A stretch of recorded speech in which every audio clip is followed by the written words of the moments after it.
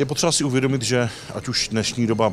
inklinuje k umělé inteligenci a k dalším atributům nějakého technologického rozvoje, tak člověk je pořád osobnost nebo identita, která má svůj význam a v některých organizacích a typech odvětví neopomenutelný a je zapotřebí mít tu firmní kulturu nastavenou tak, aby působila magneticky, aby ty správné talenty přitahovala, no a ty nesprávné, aby hodně míjeli a s těmi správnými, aby uměla pracovat tak, že zohlední jejich příběh, to, kým jsou, odkud přichází, co mají za sebou a umí jim pomoct to využít ve prospěch organizace, aby prosperovala.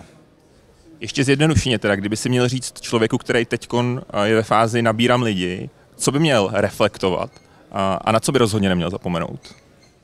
Já bych začal úplně na začátku a to je, na čem ta firma stojí, proč existuje, komu slouží, jaké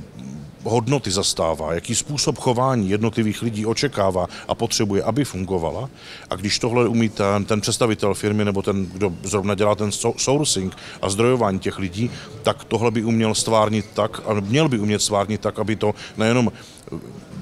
jak si svítilo jako maják a přitahovalo to ty správné, ale působilo to už na ty nominované, kteří jsou v nějakém procesu výběru, že tohle je správný klíč posuzovat to, jestli je kompatibilita mezi tím, kým firma je a tím člověkem, kým je.